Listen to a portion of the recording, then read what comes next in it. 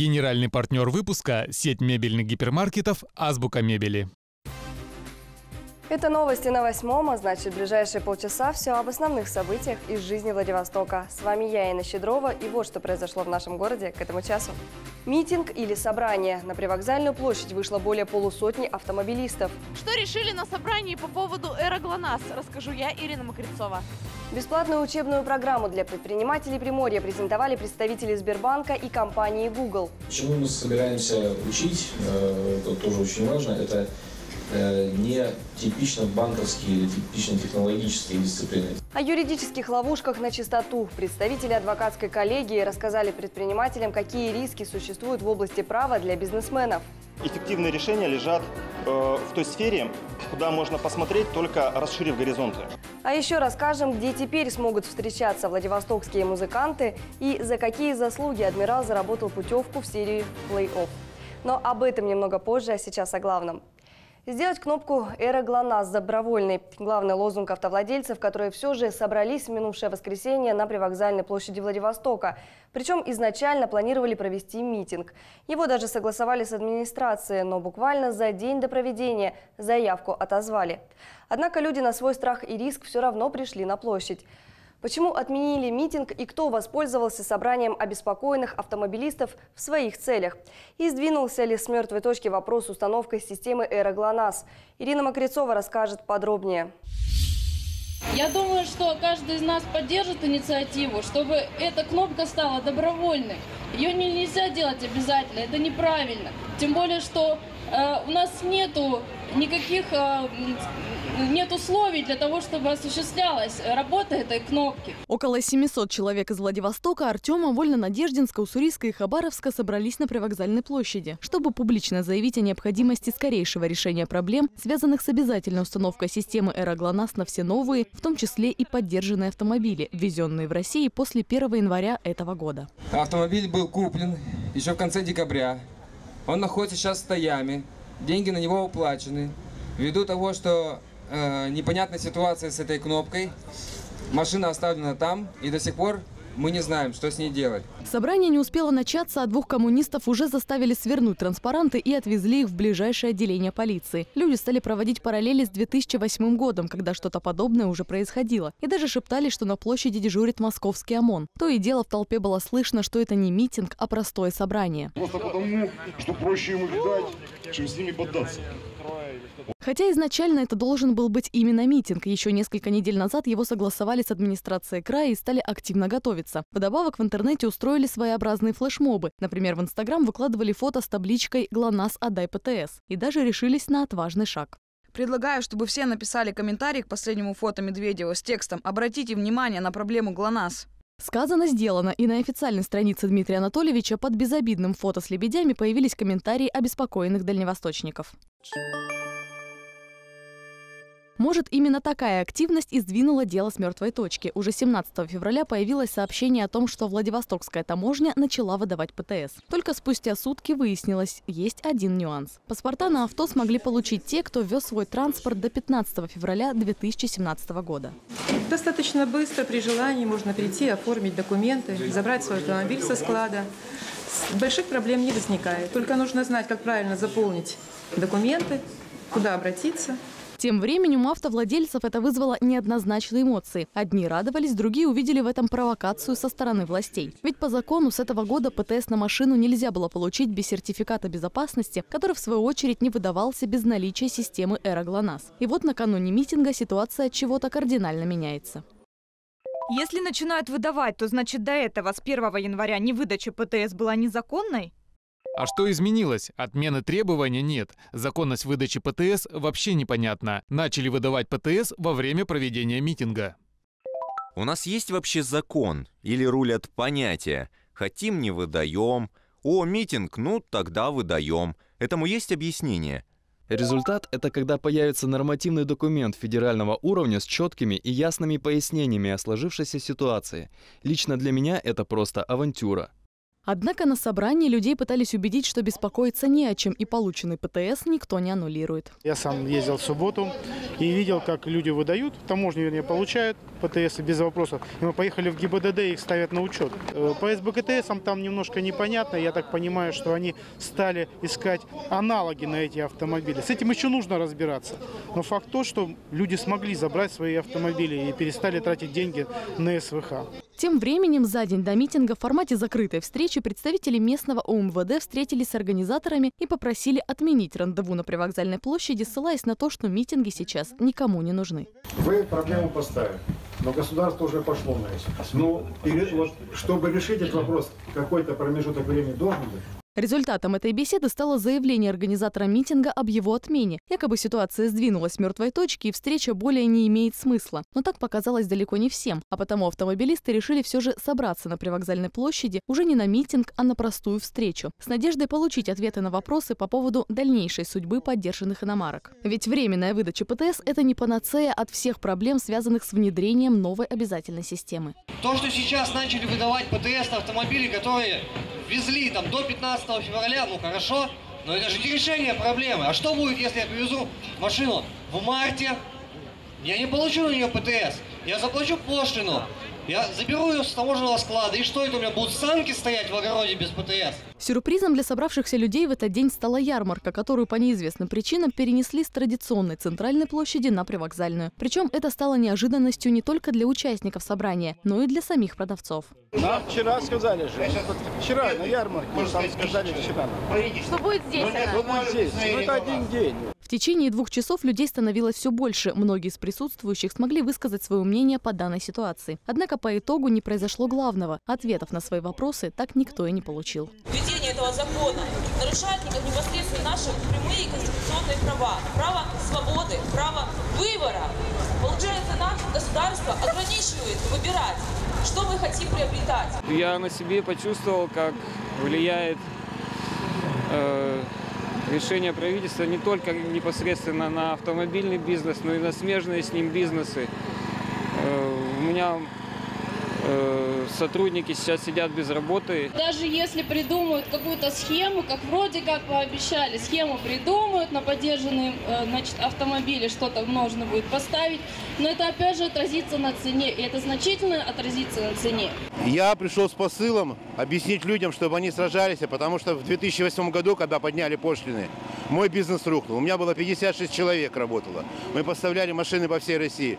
Бизнес рухнул. Сегодня я нищий. Результатом массовой встречи стала резолюция, которую пообещали отправить и губернатору, и президенту. Более того, участники собрания решили встретиться на этом же самом месте ровно через месяц, 19 марта. Со своей датой, когда смогут дать ответ по поводу кнопки, определились и федеральные структуры. Сотни людей на привокзальной площади. У каждого из них свое мнение по поводу системы «Эра ГЛОНАСС». Но какие-либо решения мы сможем услышать только 13 марта. Ирина Макрицова, Дмитрий Сухоруков. Новости на восьмом. Теме, беспокоящей приморских автомобилистов, сегодня мы решили посвятить наше зрительское голосование. Наверняка и среди наших телезрителей найдутся те, кто напрямую столкнулся с проблемами, возникшими с изменением правил выдачи ПТС, и, может, даже выходил в воскресенье на привокзальную площадь на митинг, точнее сказать, на собрание. Однако сегодня мы решили обратиться абсолютно ко всем владельцам автомобилей и спросить, а вы хотели бы иметь в автомобиле систему «Эра ГЛОНАСС»? Если вы считаете, что система, подающая сигнал в экстренные службы в случае ДТП, действительно должна быть в автомобиле, звоните 249 8806. Если же, по вашему мнению, это совершенно бесполезная кнопка и спасительную роль в серьезном ДТП она не сыграет, для вас номер 249 8807. Итоги онлайн-опроса подведем в конце выпуска. А уже завтра в эфире восьмого канала вы сможете увидеть беседу приморского журналиста Андрея Калачинского сразу с тремя экспертами. Депутатом и по совместительству организатором прошедшего митинга Андреем Галицких, юристом Алексеем Клёцкиным и таможенным брокером Романом Султановым. Вместе они в эфире радио Лема попытались найти объяснение всем этим событиям, которые связаны с установкой новой системы «Эра ГЛОНАСС». Тем временем порядка 100 единиц спецтехники было задействовано для ликвидации последствий снегопада. В течение всей минувшей ночи на улицах Владивостока велась механизированная очистка магистралей. Основные дороги были очищены и обработаны противогололедными материалами. За прошедшую ночь дорожные службы израсходовали порядка 170 кубометров жидкого реагента и более 370 кубических метров песко-солевой смеси. Также малая спецтехника и дорожные рабочие продолжают убирать пешеходные зоны, остановки общественного транспорта, виадуки и лестницы. Особое внимание уделяется лестницам, ведущим к учреждениям здравоохранения и связывающим жилые микрорайоны с остановками общественного транспорта. Также администрация Владивостока просит водителей быть предельно внимательными за рулем, соблюдать зимний режим вождения и не парковать машины на проезжей части, так как это мешает движению снегоуборочной техники. А вот большегрузам временно запретили въезжать в город. В таком активном и стремительном городе, как Владивосток, наверное, чуть ли не каждый хоть раз задумывался открыть свое дело. Однако всегда ли можно поставить знак «равно» между собственным бизнесом и свободой? В приморской столице состоялся деловой завтрак, где специалисты из адвокатской коллегии встретились с предпринимателями и на конкретных примерах рассказали о том, какие риски существуют в области права, а также какими возможностями с юридической точки зрения можно воспользоваться сегодня не только для сохранения, но и для развития своего дела. На деловой завтрак отправилась и моя коллега Дарья Панченко. За чашкой бодрящего кофе и в непринужденной атмосфере бизнесмены Владивостока встретились с экспертами и адвокатами. Цель встречи – обсудить правовые риски, методы их управления и возможные эффективные пути развития бизнеса в современных реалиях. Мы будем рассматривать правовой консалтинг как искусство изящных решений – будем говорить о том, что только комплексный анализ с учетом многих факторов позволяет находить скрытые решения, которые не очевидны при подходе с узкой специализированной сферой. То есть, что даже самое правильное решение, оно не всегда самое эффективное. И что эффективные решения лежат э, в той сфере, куда можно посмотреть, только расширив горизонты. Формат встречи не просто лекция, а дискуссия. Симбиоз полученных ранее экспертами практических знаний и разбор самых типичных правовых ошибок, допускаемых в бизнесе. На конкретных примерах участникам встречи предложили решить проблему. В итоге разразился настоящий диспут. С 2012 года эта статья стала более-менее рабочей, и по данной статье дела возбуждаются второе, это 159 4 скорее всего, потому что, судя по обороту и тому подобное, там наверняка он нанес какой-то материальный ущерб компании. И внутри, в рамках возбуждения уголовного дела, подать гражданский иск э, с возмещением определенных э, материальных издержек, По итогу только одного этого случая был сделан вывод, что многие проблемы, с которыми сегодня сталкиваются представители бизнеса, можно было решить иным способом, при этом не выходя за рамки правового поля. Главная мысль – необходимость комплексно анализировать ситуацию, учитывать возможные риски и с помощью гибкого интеллекта планировать бизнес-процессы. Зачастую собственники вынуждены сталкиваться с решением нестандартных задач очень часто. Но это более широкое проявление правового консалтинга как искусства изящных решений – не каждое решение практическое можно решить с точки зрения ну, такого фантастического подхода, найти нестандартное решение. Мы будем говорить об изящных решениях, таких же нестандартных, но с учетом конкретных областей, которые входят в сферу правовых рисков. Фундаментом эффективности этой встречи стала дискуссия экспертов и адвокатов, благодаря которому представители бизнеса получили обратную связь. Правовые риски, они имеются в большинстве бизнес-процессов на которые принято уделять большое внимание, так как они развивают бизнес. Это там, маркетинг, менеджмент, там, управление персоналом, продажами и так далее. Так вот, э, правовые риски, они как некие мостики соединяют все эти процессы и позволяют достигать цели более эффективно, быстрее, ну, с наименьшими затратами. По итогу всех участников ожидал приятный сюрприз. Помимо того, что удалось найти ответы на многие интересующие вопросы, узнать способы развития своего бизнеса и пользу профилактических юридических мер, каждый получил возможность бесплатной консультации от эксперта по правовым рискам Дениса Власова и его коллеги-адвокатов. Как отмечают организаторы, подобные встречи будут теперь проводиться на регулярной основе. Дарья Панченко, Василий Косилов. Новости на восьмом. Сейчас идем на короткую рекламу, сразу после которой Расскажем, какую программу для молодых предпринимателей презентовали Сбербанк и Google. И где теперь смогут встречаться владивостокские музыканты. А также подведем итоги зрительского голосования. Напомню, нам интересно, а вы хотели бы иметь в автомобиле систему Эра? Генеральный партнер выпуска – сеть мебельных гипермаркетов «Азбука мебели». Нужен шкаф в квартиру? Покупку в феврале планируй. Весь февраль в магазинах Азбука мебели. Скидки на все шкафы до 40%. Азбука мебели. Азбука мебели.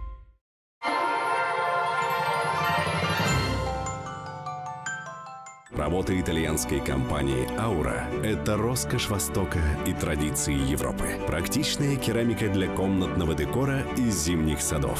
Картины итальянских художников — это искусство вашего дома. Торговый дом «Интерьер».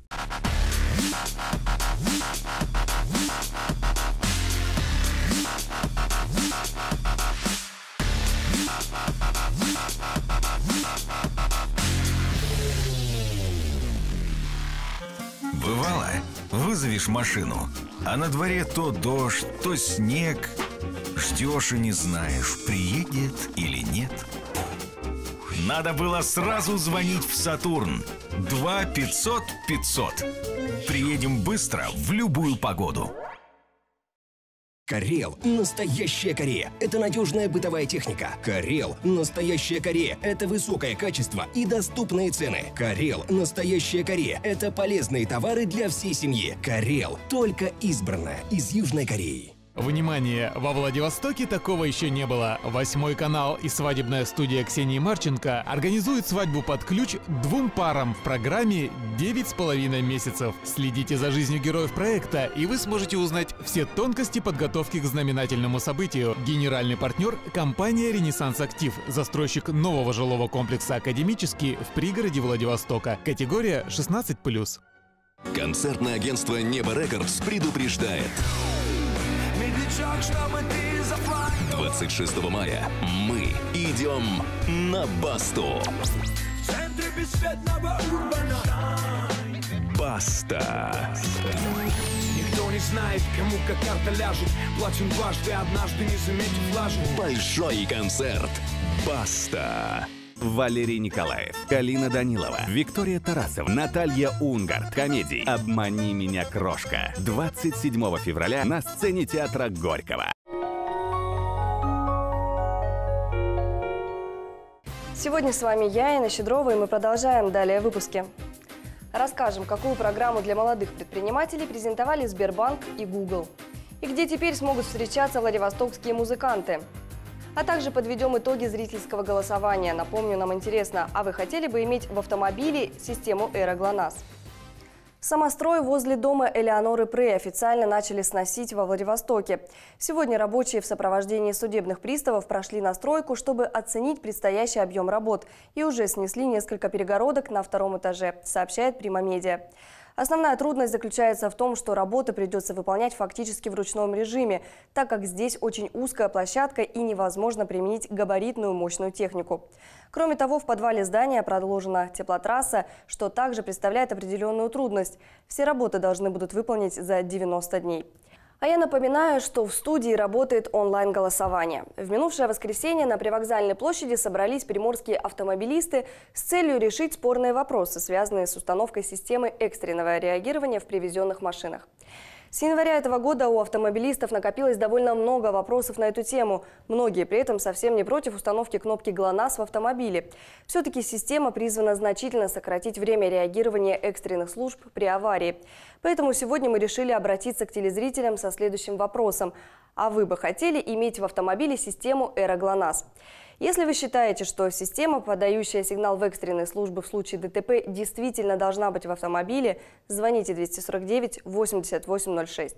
Если же, по вашему мнению, это совершенно бесполезная кнопка и спасительную роль в серьезном ДТП она не сыграет, для вас номер 249 8807.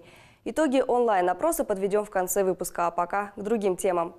Бесплатную учебную программу для предпринимателей Приморья презентовали представители Сбербанка и компании Google. Онлайн-курсы помогут начинающим бизнесменам открыть свое дело, а практикам расширить границы предприятия и улучшить качество бизнеса. Для участников подготовили не только полезные тесты и вебинары, но и встречи с опытными специалистами в офлайн режиме В прошлом году федеральная программа заинтересовала несколько десятков тысяч участников на западе страны, а сегодня ее представляют всему Дальнему Востоку. Сколько длятся курсы и где необходимо зарегистрироваться, расскажет Валерия Белоус. Сбербанк совместно с компанией Google объявляет о запуске бесплатной учебной программы для предпринимателей. На презентацию проекта «Бизнес-класс» пригласили журналистов, блогеров и молодых бизнесменов. Вопросы можно задать любые. Место встречи – центральный офис Сбербанка во Владивостоке. Чему мы собираемся учить, э, это тоже очень важно, это э, не типично банковские или типично технологические дисциплины. Дисциплины больше связанные с предпринимательством, менеджментом, лидерством, командообразованием. Корпоративные финансы, безусловно, есть как базис любого бизнеса. Программа в режиме онлайн. Видеоуроки, тестовые задания, вебинары на обучение – 5 месяцев. Курс состоит из 8 модулей, 4 очных мастер-классов, которые пройдут во Владивостоке. К бизнес-классу могут присоединиться те, кто только планирует открыть свое дело, а также предприниматели со стажем. В зависимости от направления зарегистрированным пользователям будет предложен курс с учетом их основных интересов и потребностей. После выполнения всех заданий участников ждет экзамен. Если прошли проверку – новый этап – наставничество и встречи с опытными экспертами уже в режиме реального реального времени. В итоге каждый, кто пройдет программу, получит не только сертификат, подтверждающий участие в бизнес-классе, но прежде всего уникальный опыт и перспективные знакомства. Это действующие бизнесмены, опытные, которые будут заниматься конкретно вами и отвечать на конкретно ваши вопросы. Проект от Сбербанка и Google стартовал в прошлом году. Пилот провели в Татарстане. Около пяти тысяч жителей уже завершили курс. В 2016-м программа охватила 10 регионов. На этот год организаторы планируют увеличить масштабы втрое. Восемь субъектов Дальневосточного округа заинтересовались предложением. Регистрация для них открыта, обучение начнется 16 мая. Если из 100 тысяч тех, кто прошел обучение, года через 2-3 э, будет хотя бы тысяча средних компаний с оборотом в миллиард, то, как вы понимаете, оборот таких компаний только тысячи составит 1 триллион рублей. По словам представителей власти, малое предпринимательство в Приморье составляет около 30% от ВВП края. А в объеме валового регионального продукта доля малого и среднего бизнеса в Приморском крае значительно выше, чем по стране. В этой сфере работает более 168 тысяч человек. Ежегодно на местных бизнесменов делают большие ставки, однако из-за нехватки знаний многие из них так и не выходят за пределы региона. На территории Приморья действуют специальные регуляторные режимы, которые э, существенно помогают бизнесменам и предпринимателям. Я уверен, что э, те предприниматели, которые пройдут э, очень э, важную, насыщенную образовательную программу, смогут применить полученные навыки на практике на нашей Приморской земле. Для начала все, что необходимо сделать, просто зарегистрироваться на сайте www.businessdefisclass.pro. Программа бесплатная, напоминают организаторы. Главное – это желание и время. Больше ничего не требуется. Валерия Белоус, Дмитрий Сухоруков. Новости на восьмом. У молодежи Владивостока появилась новая площадка для творчества и общения по адресу улица Шилкинская, 19-2. Ее организовали специалисты молодежного ресурсного центра. Здесь уже провели первый музыкальный квартирник, который получил название «Лампа». С первым концертом на новой площадке выступала группа «Динамика» в лице единственного солиста. Цель а, проекта, наверное, познакомить а, детей с а, творческими коллективами а, города Владивостока и, наверное, да, забрать их с улиц, чтобы они свою энергию в нужное русло направляли. Планируется, что квартирники будут проходить здесь не реже одного раза в месяц и станут местом общения музыкантов и подростков. Не исключено, что летом один из квартирников проведут даже на открытой площадке. Кстати, к участию в проекте также принимаются начинающие артисты.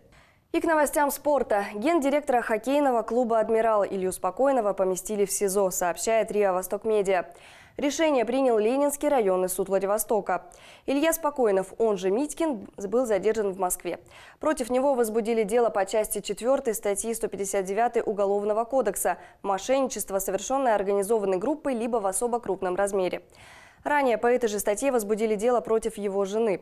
Примечательно, что до сих пор остается неясным вопрос, какую на самом деле должность занимает Илья Спокойнов в «Адмирале».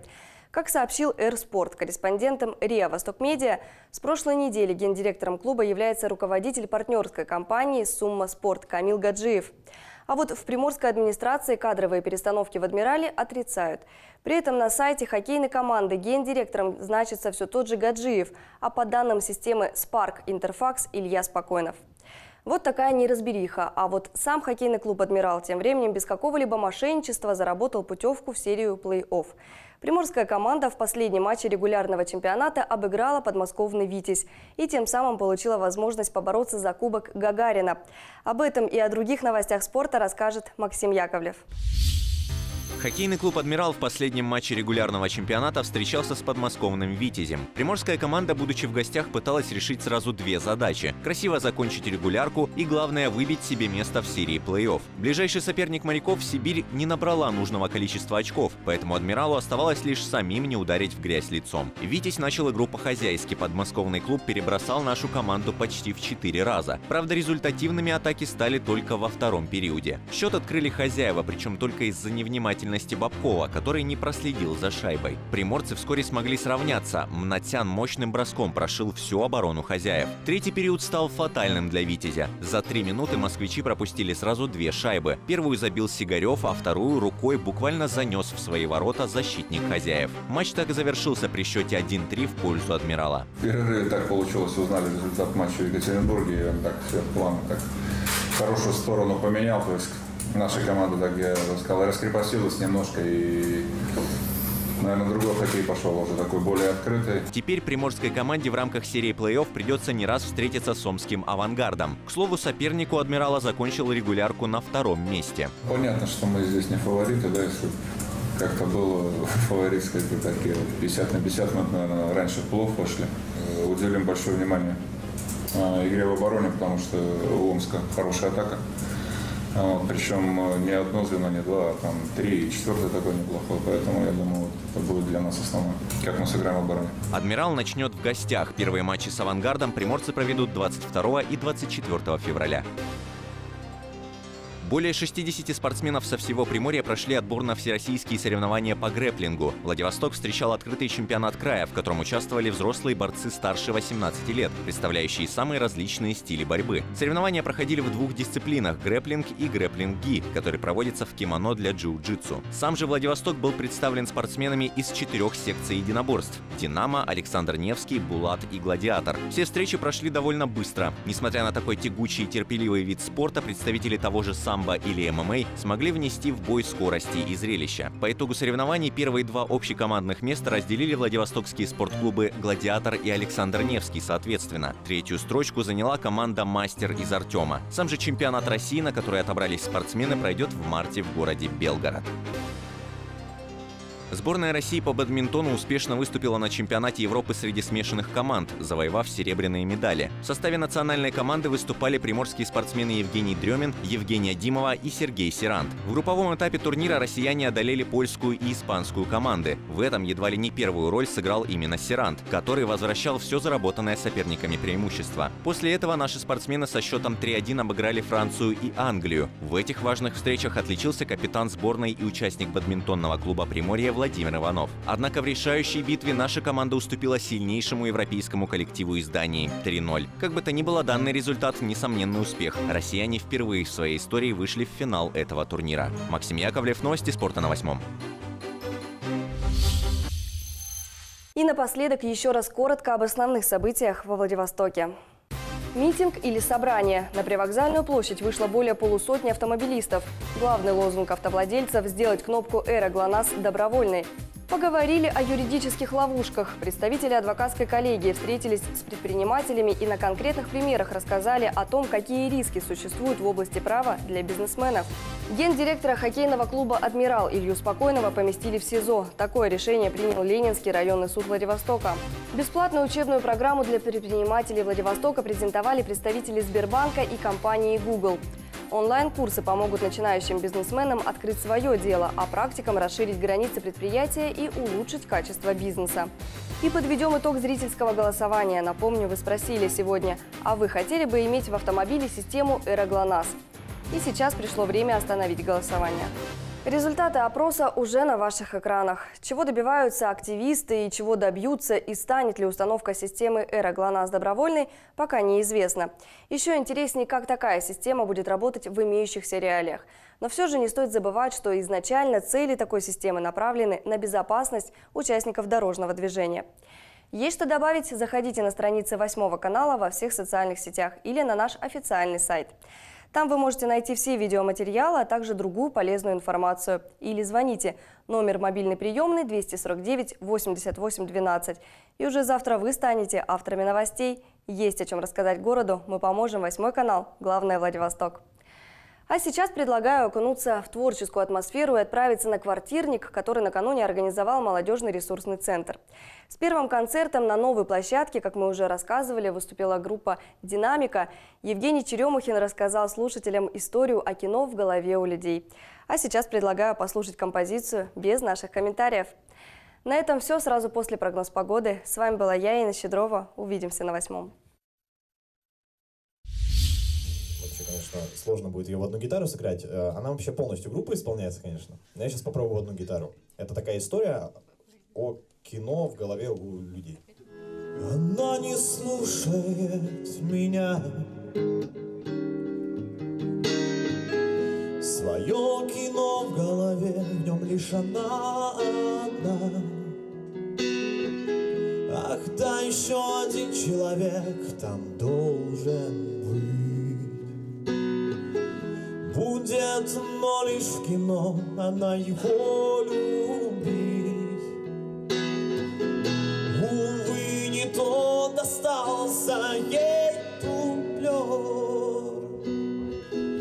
Другим достанется жаль ее идеальный актер. Ну а пока кино, кино в голове, в голове, всегда одно кино одно кино, одно кино, один саундтрек, ну а пока кино, кино в голове, в голове, ей, ей, ей, всегда одно кино, одно кино, одно кино, один саундтрек.